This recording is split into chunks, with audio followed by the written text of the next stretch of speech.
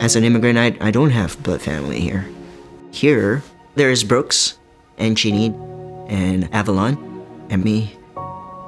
When I went through chemotherapy, 7 a.m. off until 7 p.m., Brooks and Jeannie would say, We'll be there with, with you. Those are things that you do for family members.